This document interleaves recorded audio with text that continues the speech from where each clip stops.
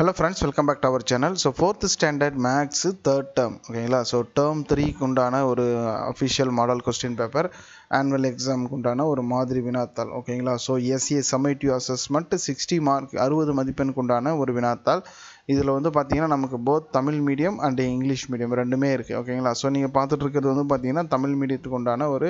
question paper அதே மாதிரி English மீடியத்துக்கான question பேப்பரும் நம்ம